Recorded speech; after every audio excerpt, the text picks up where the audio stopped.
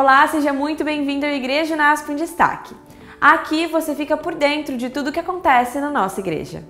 Todos os sábados, após o primeiro culto, acontece a classe bíblica Novo Caminho, na sala de reuniões anexa ao hall da igreja. Os estudos são planejados para recém-batizados e pessoas que estão começando o estudo da Bíblia. Se você faz parte de algum desses dois grupos, não deixe de participar. É um estudo que com certeza vai agregar muito para sua caminhada espiritual. Você sabe a relação entre vegetarianismo e câncer? Quais são as vantagens e desvantagens de se adaptar a uma nova dieta?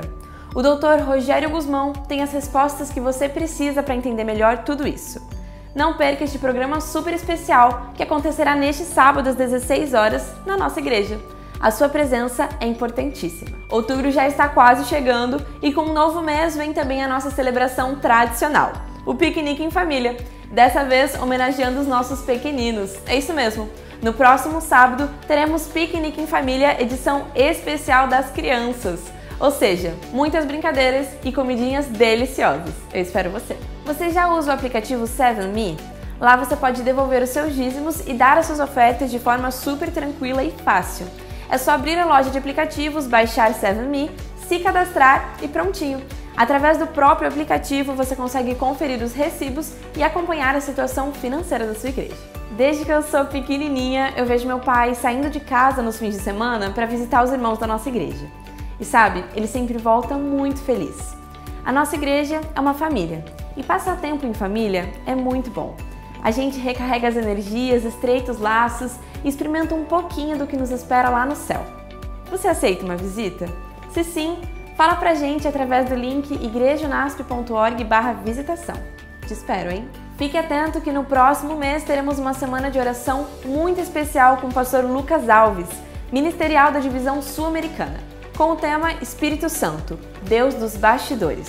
Será um momento de reflexão e enriquecimento espiritual.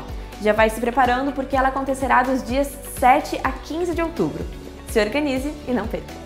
Você já ouviu uns boatos por aí sobre um tal de coral sênior, né? Então, eu tenho uma pequena grande surpresa para você. O coral sênior agora é coral Nossa Voz, bem melhor, né? E espera aí que não acabou.